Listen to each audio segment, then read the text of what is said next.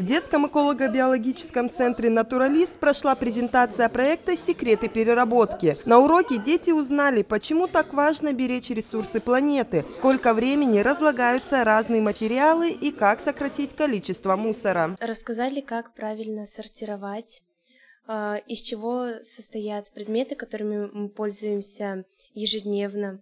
Например, пластиковые стаканчики. Это не просто бумага, что входит в ее состав. Было интересно в эту атмосферу погрузиться. И я думаю, что я буду тоже этим заниматься и тоже буду сортировать отходы.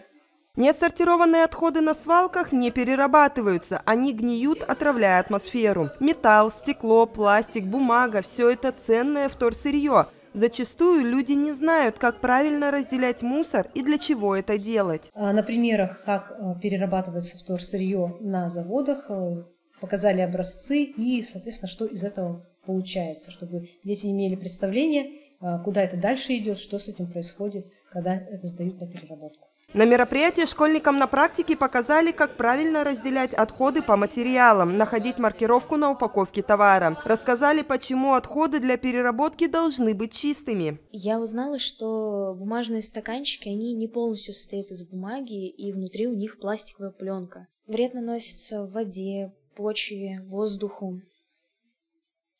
Многие отходы очень долго разлагаются и наносят очень огромный вред в Хабаровском крае проект реализуется краевым отделением Всероссийского общества охраны природы при поддержке ООО «Амур Минералс». В первую очередь аналогичные лекции пройдут в образовательных учреждениях на территории присутствия компании – Амурском, Нанайском и Комсомольском районах. Этот проект зайдет буквально каждую школу. То, что сейчас произошло, чрезвычайно важно для воспитания экологической культуры будущего поколения.